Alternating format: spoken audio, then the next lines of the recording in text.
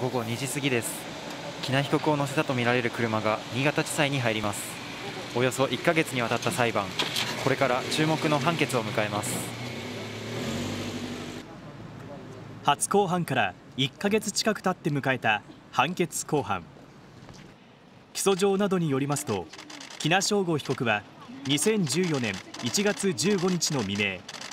新発田市の当時20歳の女性の車に乗り込み女性にわいせつな行為をして怪我を負わせ殺害した罪などに問われています。事件から8年余りという時間の壁があり事件かどうかという事件性と喜納被告が犯人なのかという犯人性が争点となった裁判。今日午後3時から公判が始まり喜納被告は初公判と同じグレーの服でいつもと変わらない様子で出廷しました。そして新潟地裁の佐藤秀彦裁判長は主文後回しとして判決理由の説明から始めました。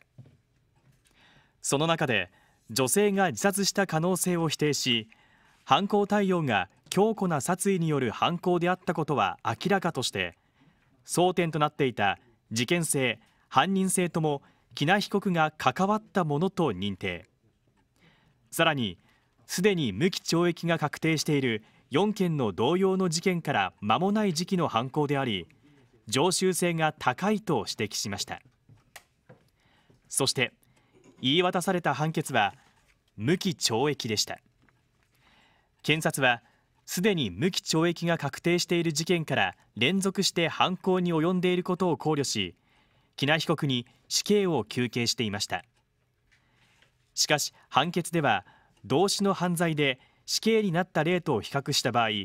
残虐性などはそこまで及ばないとしました。最後に佐藤秀彦裁判長は喜納被告に